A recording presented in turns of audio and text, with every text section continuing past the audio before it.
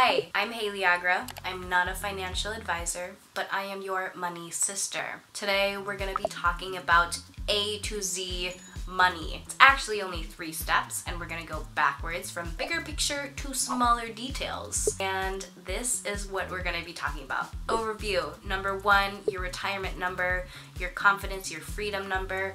Number two, the types of things and traits you need to have to actually get that income, get your bag. And number three, the small minuscule things that you need to do to stay consistent and reach your financial freedom.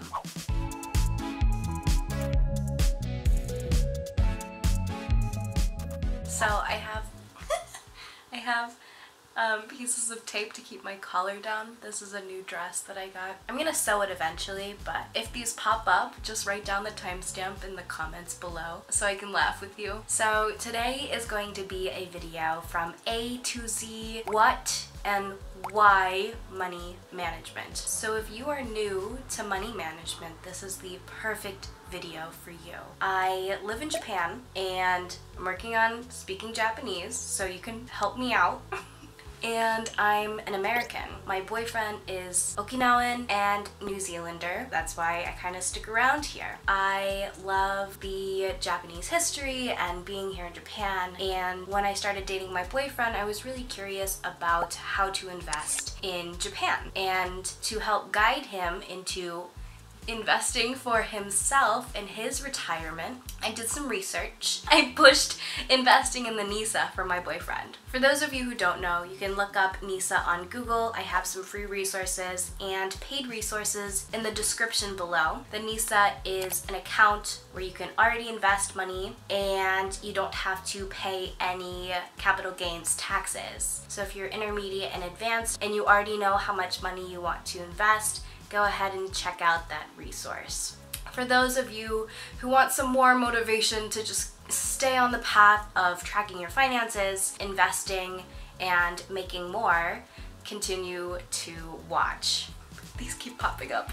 So starting from the bigger picture, going backwards. You want to have freedom, you want to have security, you don't want to rely on one source of income. What I mean by that is some people really like the job that they're doing and some people don't. When you have enough money, I like to call it FU money. When you have enough money, you don't have to stay in the same area, the same job, the same environment. There are so many doors that open to you when you have a certain amount of money. That's what you want. You want to have opportunities, you want to have doors open for you. You don't want opportunities to be closed because you don't have enough. And describing how much is enough differs between person to person.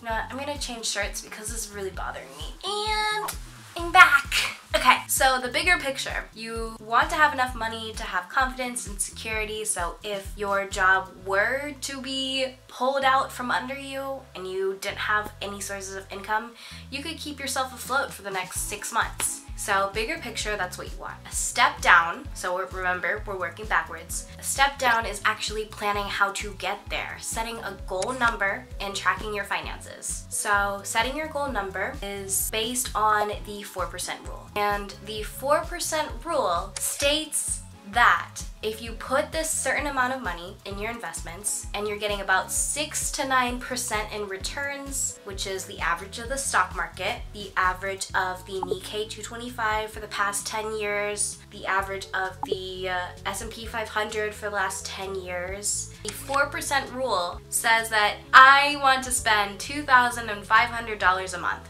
Currently do not spend that. I spend probably a $1,000 less right now. Besides the point, I spend $2,500 every month. Multiply that by 12 and that gets you about $30,000. What you're gonna do with your yearly amount is you're gonna divide it by 0.04. This is the 4% rule. So this number, this is your goal. And where you're gonna put this money is into the average of the stock market. The average of the stock market can be represented and you can own the average by investing in an index fund, which is a Nikkei 225 in Japan or the S&P 500.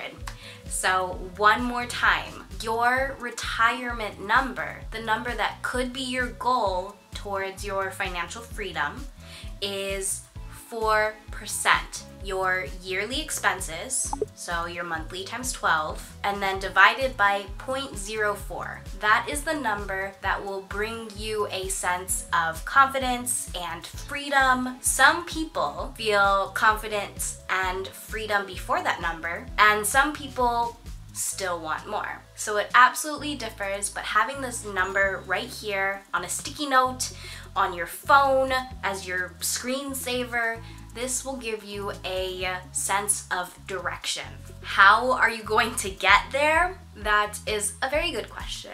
You're going to develop your skills, you're gonna get some higher education, you're gonna do self-education, and you can invest in courses to better the skills that you have. I am a freelancer.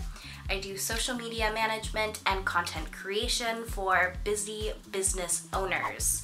And I can do that from anywhere in the world. That's what I like to do to bring income in. I also sell guides. You guys can support me down below. And I do other side hustles like art or school. I get some scholarship money from school, but that will be running out soon. And lastly, number three, breaking it down even further. So you have your goal number, you have your how do you actually get that money, and then lastly, it's all the minuscule weekly, monthly tasks that you have to do to keep money management in your head and to keep you from stopping the path. These are the consistent tasks you need to do weekly and monthly, whatever suits you. You're going to track your income and your expenses. Where does your money come from? Where does your money go? Find a balance between your needs, wants, and investments. If you really want to have freedom financially, investments should be your top priority. Secondly, your needs. And last, your wants overview. Number one, your retirement number, your confidence, your freedom number. Number two, the types of things and traits you need to have to actually get that income, get your bag. And number three, the small, minuscule things that you need to do to stay consistent and reach your financial freedom. Yeah. Okay, that's good enough. Whatever.